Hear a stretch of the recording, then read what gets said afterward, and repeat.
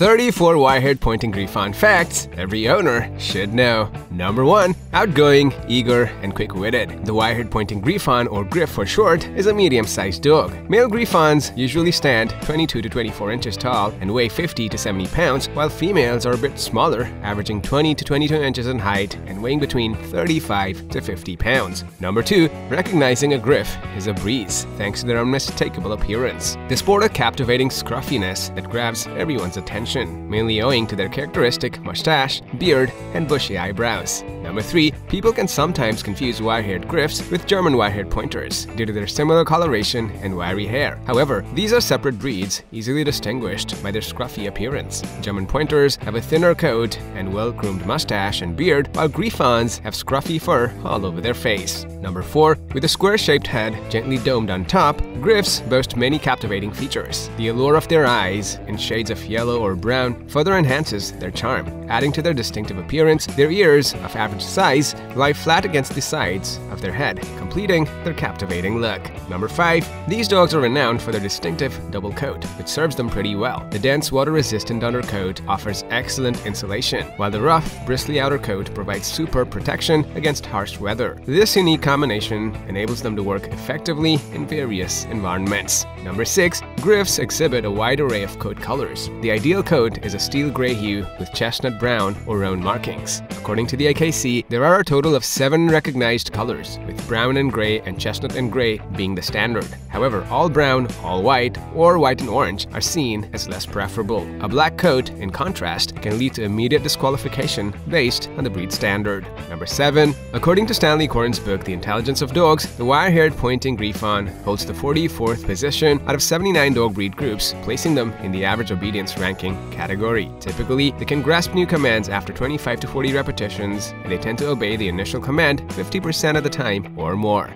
Number 8. These dogs have a strong inclination for water-related activities. When you consider their webbed feet, water-repellent coats, and powerful tails that function like a rudder, it's clear that they excel at swimming too. So don't hesitate to let your Griff enjoy a swim in the pool on a hot summer day. Number 9. This breed can generally get along well with other dogs in the house, especially if they have been raised together from puppyhood. However, they might not be the best companions for cats, as many Griffs have a short prey drive and are inclined to chase after most cats. Number 10. Griffs can also exhibit shaggy dog syndrome, meaning they tend to be quite messy, carrying debris on their coat and bringing it into the house. When they drink and eat, their bushy beards can absorb water and food, which may later drop on the floor, so they may not be the ideal choice for those who prioritize a tidy living space. Number 11. These guys are affectionately known as Velcro dogs because they have a strong tendency to stick close to their loved ones. Griffs often choose one special person whom they adore, and they tend to follow them virtually everywhere. If you happen to be that special person, let me tell you something. You won't get much privacy, not even in the bathroom. Number 12. This breed has a powerful prey drive stemming from their hunting heritage. They will intensely pursue small animals like birds and rodents they see as prey, often without paying attention to their surroundings. This is why you gotta keep them on a leash when outdoors to prevent any accidents. Number 13. These dogs are also notorious for their escape artist skills, often bolting from home at the sight of potential prey. That's why you gotta have a secure fence around your yard to prevent your pup from running away and risking harm or getting lost.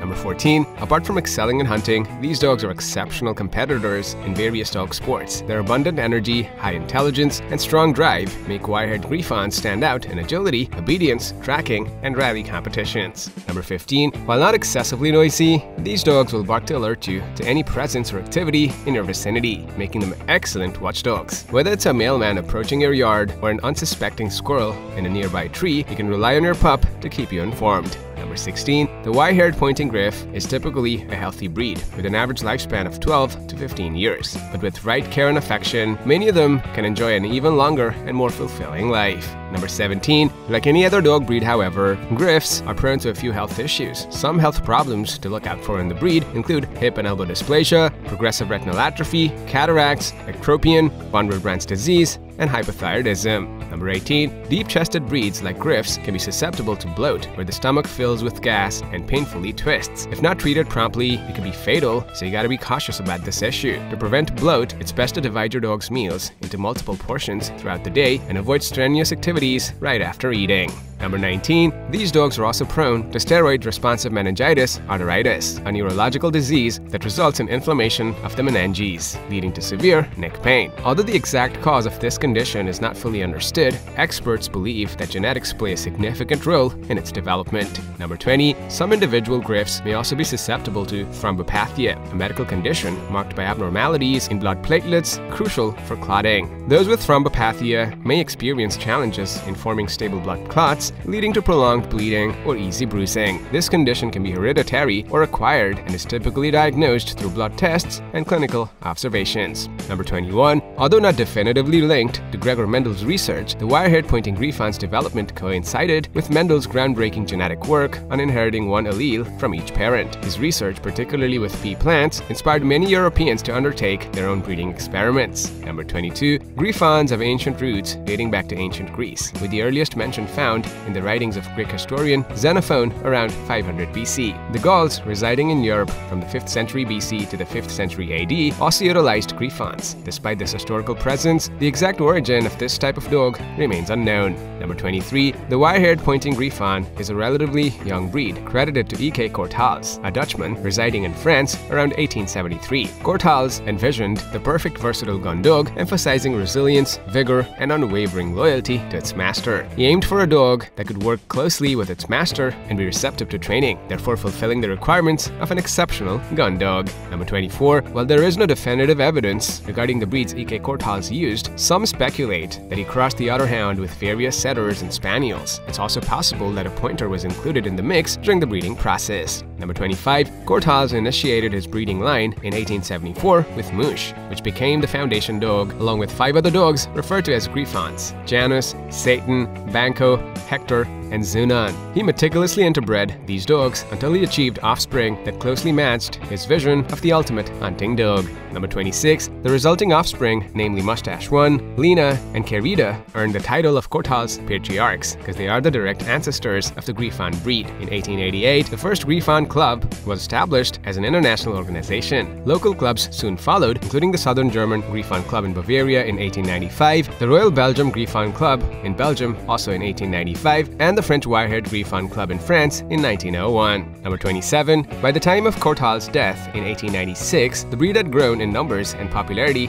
across Europe. They were popular in the Netherlands and France, where they were renowned as reliable, hardworking, and adaptable hunting dogs. Number 28. The American Kennel Club's first registered Korthals Griffon, known as the Wire-haired Pointing Griffon in the US, was Zolette. She was officially entered into the stud book in 1887. At that time, the Griffon breed was relatively unknown in the US, and Zolette was registered as a Russian setter because they thought she had Russian heritage. Number 29. It wasn't until 1916 that the breed was formally acknowledged as the wire-haired pointed Griffon in the United States. During that significant year, 16 Griffons made their appearance at the Westminster Kennel Club Dog Show, a highly esteemed event in the country. Since then, the breed has surged in popularity, showcasing its prowess not only as a show dog, but also as the versatile gun dog that Korthals initially envisioned. Number 30. In 1991, the American Wire-haired Pointing Griffon Association earned official recognition from the American Kennel Club as the breed's official parent club, marking a significant milestone in the breed's history and development within the United States. Number 31. Today, the wire-haired pointing Griffon enjoys a devoted global following and is considered a fairly popular breed. The American Kennel Club's list of most popular dog breeds in 2022, it held the 57th position out of 199 total registered breeds, based on total registrations nationwide. Number 32. Fairly popular and rare, acquiring a wire-haired Griffon pup can be quite expensive. On average, a Griff from a reputable breeder can cost anywhere between $800 and $1,500. Pups from exceptional bloodlines can command prices around or even exceeding $3,000. Number 33.